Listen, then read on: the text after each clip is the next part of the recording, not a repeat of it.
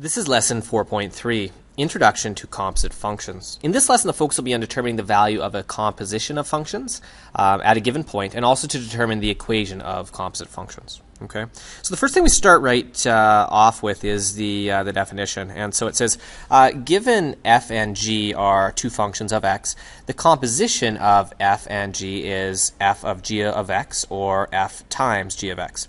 And so when we say this, uh, both expressions are read as um, f of g at x, or I like to say it as f of g of x, like so. Okay. And so the last time you were exposed to something similar to this was actually in grade 10. If you had me as a teacher, you uh, might find this lesson really, really simple because uh, in my Honors 10 class, we actually looked at it. And so uh, what we're going to do is we're just going to talk about uh, what this really means right here uh, when you see something like the following, g of f of 2. Okay, and in class we'll talk about more what the, the real world relevance is of this. But if you have g of f of 2 right here, what it means is that you first have to go and find out what happens uh, at f of 2. So what we have here is we have two uh, table of values. We have uh, f of x on this side, we have g of x on that side. So what happens if we have an input value of 2 and we put it into the function of f of x, well, we get an output of 0. So what we can do is we can simplify that and say that f of 2 is actually equal to 0. And so now we're left with g of 0. And so now what we do here is we take our input value 0 and we put it into the function g of x and we get an output value of 1. Okay, so it's just that simple. Uh, next, what happens if you take g of g of 2? So what we're going to do is we're going to put 2 into the function of g, figure out what that answer is, and then we're going to put that answer into g again. So g of 2, we come over here. g of 2 is equal to negative 1. So we have g of negative 1 now. That's simplified to be negative 1. And if we take negative 1 and put it into the function of g, we get an output of 2. Okay, so really, really straightforward. Let's go and take a look at how we would do something similar uh, with a graph right here. Okay, so right here, what we have, uh, very similar to our previous lesson, we have our function uh, y is equal to g of x and y is equal to f of x, like so. And uh, what we're wondering is what is f of g of 2? So first what you do is go and look at what happens when you have an input value or an x value of 2 with the function of g. So if we look at this point right here, that is where x is equal to 2, and what's the output value? We get an output value of 0. So this really turns into f of 0 right here. And so now what we do is we look at our function of f right here, and when we have an input value of 0, what's the output value? The output value is this point right here at 1. So that answer is just equal to 1. All right, next let's look at b right here. So b says we have g of f of negative 1. So what we're going to do is we're going to look at what happens when we have an input value of negative 1 into our function of f. So at negative 1, it's also equal to 0. So we have g now of 0 right here. So that was that point that we were talking about. And then uh, what happens if we put 0 into the function of, uh, of g? Well, the function of g right here, um, if we have an input value of 0, the matching value would be 4. So that one's equal to 4. All right, so we've looked at how you can do this by looking at a table of values and also by looking at a graph uh, like we did here in example 2. Okay, let's go to the next page.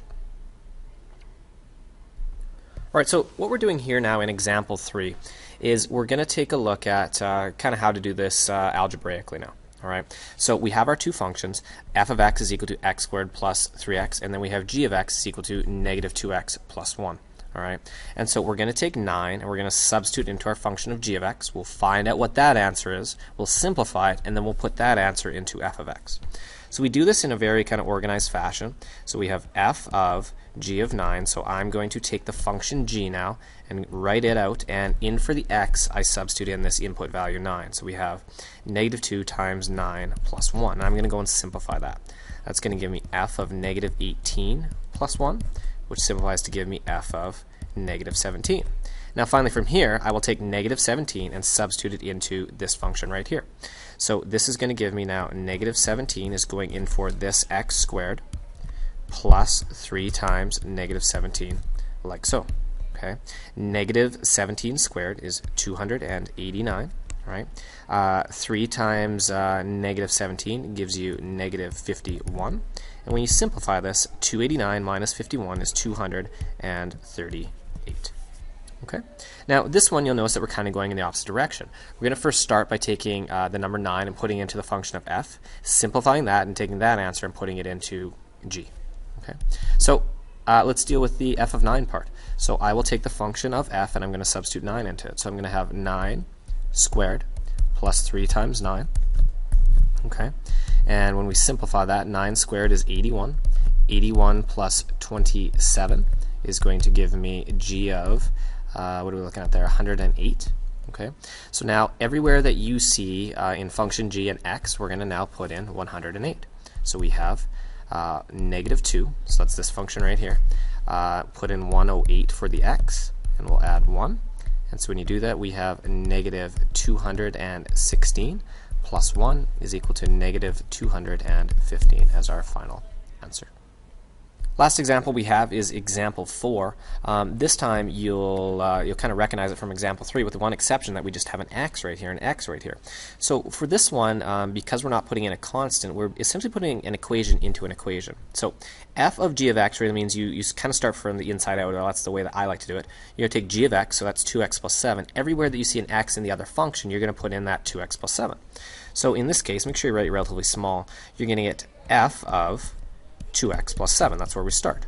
All right. So now everywhere that you see an x in this other equation f, you're going to put in 2x plus 7. So this becomes 2 brackets 2x plus 7 all squared plus 1. Okay, so we have 2, and we have 2x plus 7 all multiplied by 2x plus 7 plus 1. Okay, common mistake by students right there is that they'll square each term. Remember that the brackets, uh, there needs to be two of them like that. Uh, I first like to start by uh, using the distributive property here. 2x times 2x is 4x squared. 2x times 7 is a 14x, and then you get another 14x. And then 7 and 7 is 49.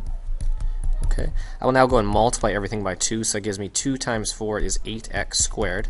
Uh, this is actually 28x, so times 2 will give me 56x. And 2 times 49 is going to give me 98 plus 1.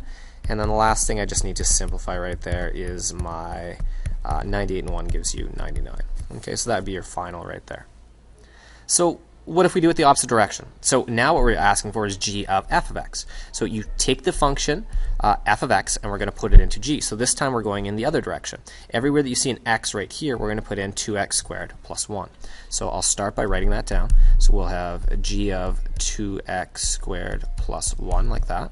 And so then I'll take the function g, which is 2x plus 7, and in that x value, I'm going to put in 2x squared plus 1.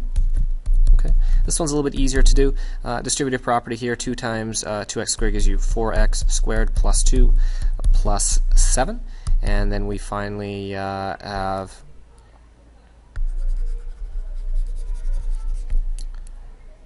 using the distributive property, 2 times 2x squared is 4x squared plus 2 plus 7. Uh, lastly, the 7 and the 2 are like terms, and so we combine those together. Okay, and uh, I think there is one more that we need to do. Uh, let's take a look at g of g of x. Well, if you remember what g of x is, g of x is the function 2x plus 7, and we're going to put it into itself. So we start with g of 2x plus 7. And so putting something into itself is not impossible right here. We just have now 2, and then everywhere you see an x, we're going to put in that 2x plus 7. Like so. We simplify distributive property once again, 4x plus 14 plus 7. Again, we have like terms with the 7 and the 14, so we have 4x plus 21. Okay. So, a very short lesson. Uh, we looked at how you can um, do a, uh, a, composition of functions uh, when you have a table of values, when you have a graph, and then the last two examples on, uh, on this page was how you could do it algebraically. That concludes this lesson.